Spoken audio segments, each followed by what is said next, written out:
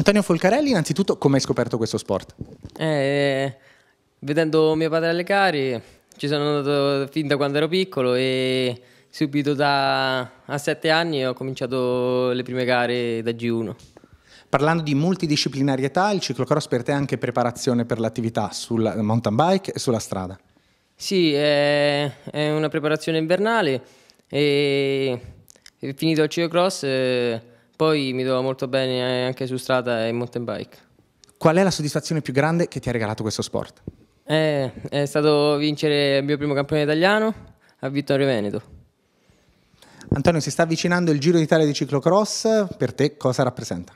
Eh, è una grandissima emozione fare il Giro d'Italia e spero anche quest'anno di andare bene come lo scorso anno.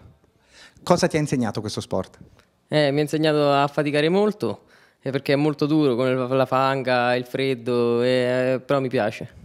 Antonio, il tuo messaggio ai bambini che si avvicinano a questo sport? Eh, è di iniziare come un gioco e poi andando avanti può darsi che si diventa forte e, e arrivare fin qui come noi.